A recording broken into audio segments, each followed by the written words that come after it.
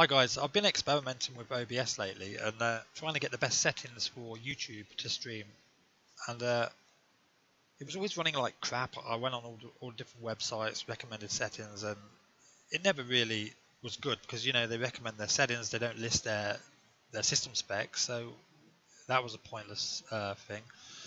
But uh, here I'm running an i5 3570K 8 gig RAM GTX 780 and I find these settings to be absolutely silky smooth. Right, so we're going to go to encoding. I use times uh, 264, uh, UCBR, quality balance 8, max bitrate 3.5 um, megabytes upload speed. But remember, that's based on your own. You have to do a speed test and see what you can do. I wouldn't go any more than that, even if you can, because you've got to think of your audience and whether or not they can actually, you know, view a video at that speed. Uh, audio, I left the same. Uh, broadcast settings, I didn't change anything in here. I just put in the uh, key path, uh, YouTube gaming. I left it how it was. Video settings, my monitor is uh, 60 hertz, 1920, 1080p. I downscale to 1.5 to 1280 by 720. Uh, bilinear fastest and 30 FPS. And honestly, you want to do that if you only have an i5 because it really does make a big difference downscaling it. And the quality is still really good anyway. Uh, the advanced settings uh, use multi-threaded optimizations, priority class normal, scene buffering 700. Hang on a minute. Uh, allow other modifiers on hotkeys, blah blah. Two uh, times 264 CPU preset is very fast, encoding profile is high. This one here is the most important. Key frame interval is on 2. Any more than that, and with an i5, you may get stutters or just poor performance during streaming.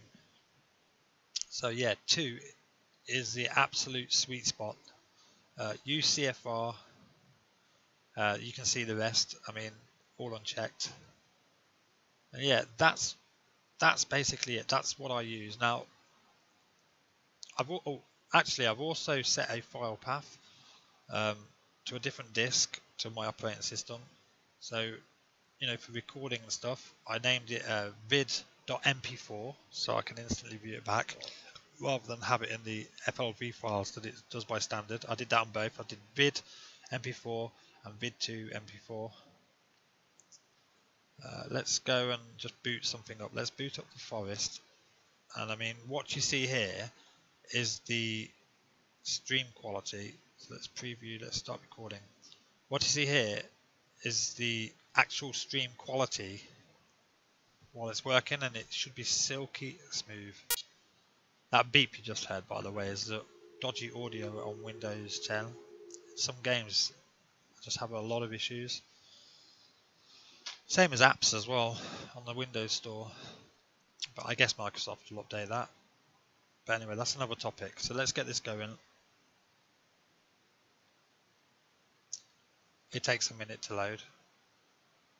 These early access games, you know how they be. There we go. And that's recording now. As you see, it's not even affecting frame rates because it's and this game is very CPU intensive as well just have a mooch about for a minute. And uh, you'll see the quality that you get here is the exact quality that you get in the stream.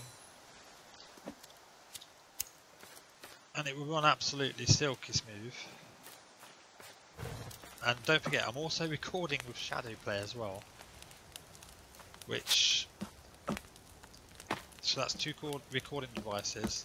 And OBS is still silky smooth with these settings. So let's end this now and go to uh, OBS, uh, stop recording. I just thought of something quite bad. It's actually going to pick up my mic, but it's no issue. I'll just uh, mute that. So OBS. Let's click that. What you see here is the actual uh, So let's uh, just get in the game. Just skip it. You can see, I mean, when you're streaming, that's the exact quality that it runs like. And I was also recording with ShadowPlay, so yeah, these settings, big thumbs up. So yeah, I hope this uh, helps a few of you out anyway. But uh, right now, I'm off. Have a good day, guys, and bye bye.